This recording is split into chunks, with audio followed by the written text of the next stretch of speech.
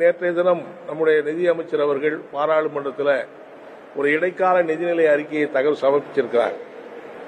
அந்த இடைக்கால நிதிநிலை அறிக்கை என்பது ஏற்கனவே பாஜக சொல்லியிருக்கிற அந்த மாதிரியான திட்டங்கள் கூட இல்லாத எந்த திட்டங்களை பற்றிய அறிவிப்பும் இல்லாத ஒரு ஏமாற்று பட்ஜெட் என்பதை மார்க்சிஸ்ட் கம்யூனிஸ்ட் கட்சி மட்டுமில்லை எதிர்க்கட்சிகள் மட்டும் பாஜகவுடைய தலைவர்களே கூட அதிருப்தி தெரிவிக்கிற அளவுக்கு தான் அந்த கூட்டணி அந்த பட்ஜெட் என்பது அமைந்திருக்கிறது என்பதை நம்ம பார்க்கிறோம்.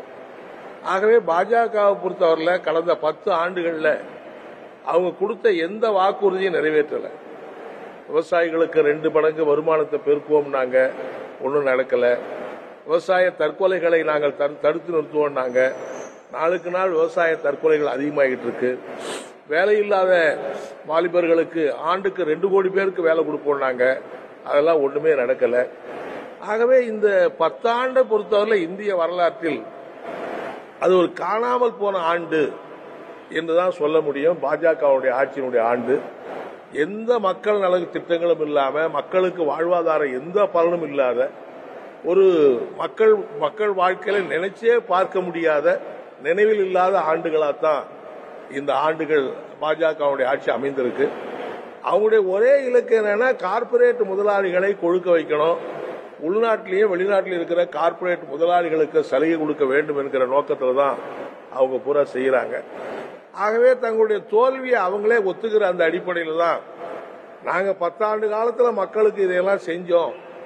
ஆகவே எங்களுக்கு மீண்டும் ஓட்டு போடுங்க என்று கேட்பதற்கு தைரியம் இல்லாத காரணத்தினால தான் அவசர அவசரமா இப்போ வந்து ராமர் கோயிலை கட்டி அதுல போய் பிரதமரே வந்து ராமர் சிலையை வந்து பிரதிஷ்டை செஞ்சு வைக்கிறதுங்கிற நிகழ்ச்சியெல்லாம் நடக்குது. ராமரை வழிபடுவதையோ இறை உணர்வையோ மார்க்சிஸ்ட் கம்யூனிஸ்ட் கட்சியோ அல்லது எதிர்கட்சி மக்கள் இந்தியா கூட்டணி கட்சிகளோ நாங்க ஒன்றும் அந்த குறை சொல்லலை அதை விமர்சிக்கல. எல்லா மக்களுக்கும் இறை உணர்வு வழிபாட்டு உரிமை என்பது இருக்கும் என்று வற்புறுத்துறோம். ஆனா அந்த இறை உணர்வை ஒரு அரசியல் ஆதாயத்துக்கு பயன்படுத்துவது தவறு.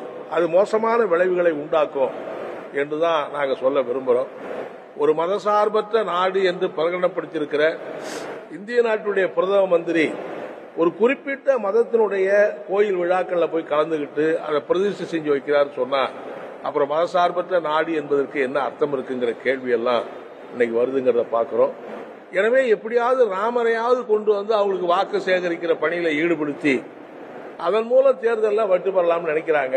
ஆனால் மக்கள் வந்து அதையெல்லாம் ஏற்றுக்க மாட்டாங்க. பாஜக என்ன நினைக்கிறாங்கன்னா எங்க பார்த்தாலும் ராம பக்தர்கள் இருக்கிறாங்க. ராமர் கோயிலுக்கு கூட்டம் நிறைய வருது. ஆகவே மக்கள் நமக்கு ஓட்டு போடுவான்னு நினைக்கிறாங்கன்னா அப்படியெல்லாம் உண்மை கிடையாது. தமிழ்நாட்டில் கூட நிறைய கோயில்கள் இருக்கு. இந்தியாவிலேயே அதிகமான கோயில் இருக்கிற மாநிலம் பார்த்தீங்கன்னா தமிழ்நாடு தான். எல்லா கோயில்களுக்கும் மக்கள் கூட்டம் கூட்டமா போறாங்க. ஆனா பாஜகவுக்கு இங்க ஒரு தொகுதியில கூட தனியா நின்னா டெபாசிட்டே கிடைக்காது. இதுதான் இந்தியா இதுதான் தமிழ்நாடு. பன்னிரெண்டாம் தேதி சட்டமன்ற கூட்டம் நடக்க இருக்குது. ஆளுநர் வந்து சட்டமன்ற கூட்டத்தை துவங்கி வைக்கிறாரு. என்னுடைய வேண்டுகோள் என்ன ஆளுநர் வந்து அரசியல் சட்டம் என்ன மாதிரி ஆளுநருக்கு அதிகாரம் அளிச்சிருக்கோ அந்த அடிப்படையில் அவர் சட்டமன்ற கூட்டத்தில் நடந்துக்கணும். அவர் மாட்டுக்கு தேவையில்லாத ஒரு பிரச்சனையை பேசுறது. அப்புறம் அதை எதிர்த்து ஒரு தீர்மானம் போட்டால் அவையிலிருந்து வெளிநடப்பு பண்றது. இதெல்லாம் வந்து தமிழ்நாட்டு மக்களை கொச்சைப்படுத்துகிற தமிழ்நாட்டு மக்களை அவமானப்படுத்துகிற காரியம். எனவே கடந்த ஆண்டு ஏன்னா அவர் ஆளுநர் பொறுத்தவரை ஒவ்வொரு நாளும் ஏதாவது ஒன்று பண்ணிக்கிட்டே இருக்காரு. வெண்மணிக்கு போய் வெண்மணி தியாகிகளுக்கு நினைவு சின்னம் கட்டுறதையே கொச்சைப்படுத்துறாரு. ஏற்கனவே திருவள்ளுவர் கொச்சப்படுத்தினாரு அப்புறம் வள்ளலாரை கொச்சப்படுத்தினாரு தமிழ்நாடு கதையை கொச்சப்படுத்தினாரு.